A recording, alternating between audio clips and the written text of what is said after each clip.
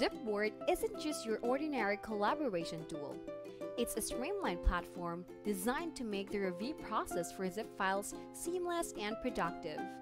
Whether you're a content creator, a designer, or a developer, Zipboard has got you covered. Let's dive right in. In order to annotate zip files, we need to add content by clicking on this button and select zip files. Once we're done uploading, we will see this review button and once we click on this, it'll open a new tab. Let's start right here. You will see all of the annotation tools in the left hand side. You can use the rectangle tool to comment on specific areas of the screen. You can add your comment and click on this button. If you need to emphasize something, the pencil tool will help you circle, underline, or highlight elements within this area.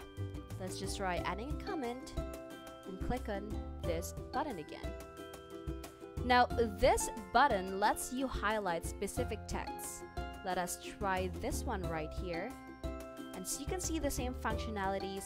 You will have this comment option, just like the other two in here. Another thing is that when you need to direct attention, you can rely on this arrow tool.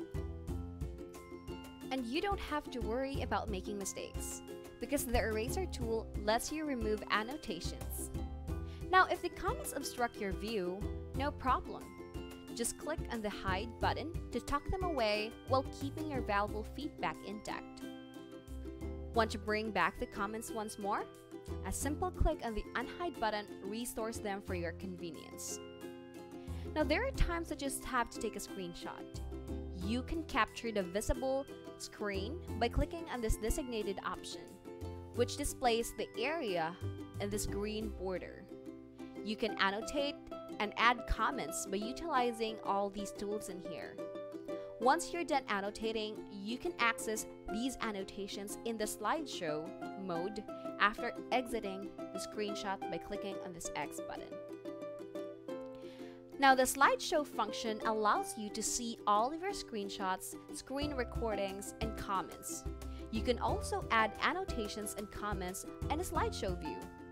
If you want to review your content in the device type that you want to review, you can just click on that button and you will see here in this way and you can annotate right here. You can exit this one by clicking on this X button. Another thing is that you can change the content status of this asset. You can select on this area right here. The last thing is that you can actually disable comments. In this way, we can add annotations without commenting using this option. There you have it.